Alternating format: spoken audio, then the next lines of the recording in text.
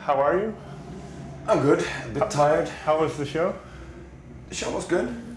We had a little bit of technical problems in the beginning. There was something wrong with the tuner for the bass. Okay, So, that's so we didn't really get it in tune, but you know, after a song or two, it sort of sorted it out okay. itself. So yeah, it was cool. Well, you know, it was a little bit short. We've been uh, on a European tour recently, just a couple of weeks ago, and we play like one and a half hour, one minute, one hour, forty minutes every day. So, fifty minutes is like quickly. So well, well it, even in the short period, it seemed like you really got the crowd into it. Oh yeah, it was cool. You know, it's well, it's Holland. You know, So crowds in Holland are they're brilliant usually. So okay. Um, well, what I wonder, uh, wonder is um, your nickname is uh, I, I don't know how to pronounce it, but Vreth. Vreth, yeah. Yeah, um, where do all the nicknames in the band come from? Well, it's, it's different stories. Some of them, you know, they're really like uh, you know, like connected to nature in Finland, and yeah. mine is more like a word game. Can you explain it, or is it difficult? No, no, it's it's it's actually it's a kind of stupid story, but I had to come up with something because we were going to, on my first festival with Finntroll, and I had to the day before to come up with something to to do it. Me and Katla, the first singer, we were sitting around having a couple of beers and spawning about names, and we came up with this like that's like in uh, word wrath, and Swedish word is vrede, so it's kind of a combination of it.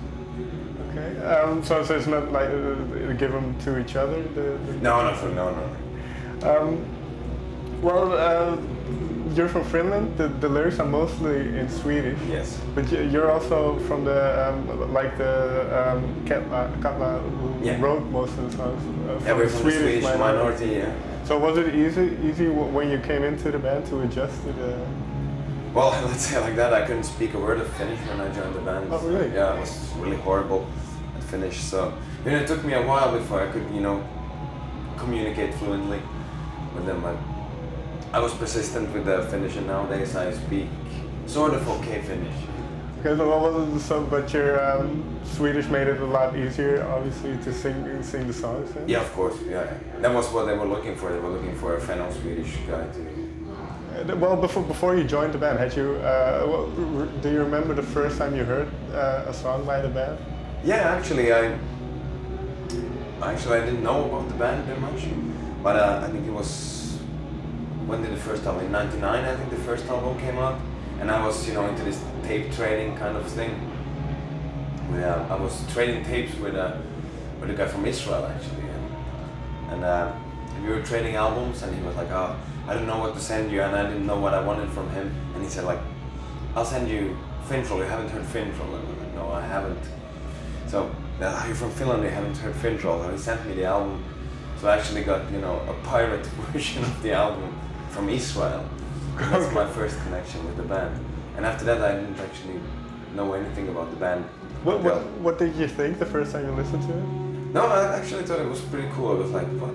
This is this is really different from you know anything that was existing at that time. I was really into you know like Norwegian black metal and you know the old school death metal scene, and, and there was something new, and I was like, this is weird, but this this is pretty nice. It's pretty you know groovy in some way.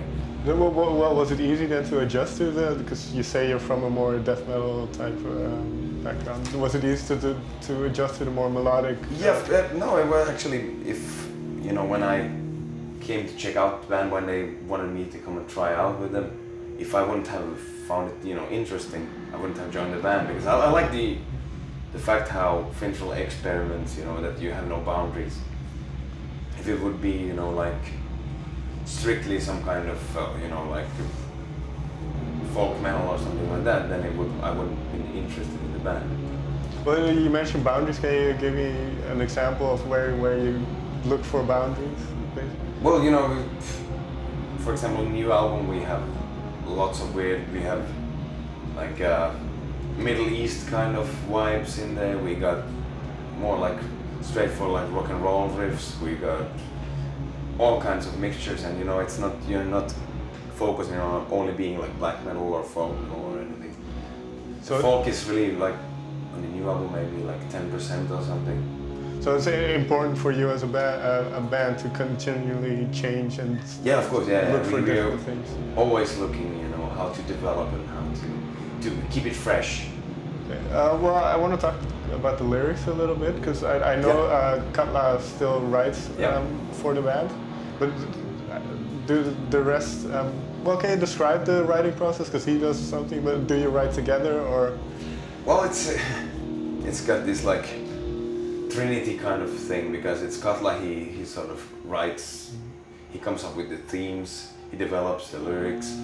And he, we, we are like working together, really like uh, about the concept and how to what to write about. He writes it, then he sends it over to uh, to Trollhorn that actually puts them into to the songs and then I come up and I do my versions of it, and it's sort of we three we're working together. So everybody edits a little bit Yeah. and then it passes. Yeah, And then, well, the, the theme is uh, very mythical, and, and, and Yeah. was that something you um, connected with uh, from the start as well? Yeah, sort of. Yeah, and, you know, it's it's not really connected to any you know specific kind of mythology. It's uh, more like a combination of from all the world, different stories, different legends that's been translated into Finntroll, if you say it like that.